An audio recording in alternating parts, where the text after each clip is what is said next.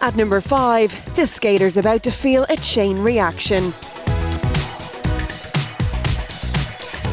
At number four, impressive job win, just an average day for seat ejection testing.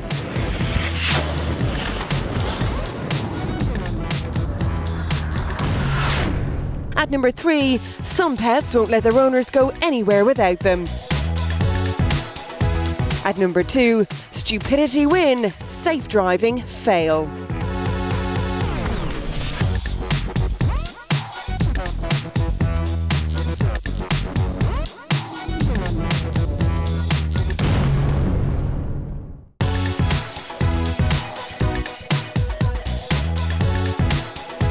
And number one today, someone's flipping delighted it's Friday.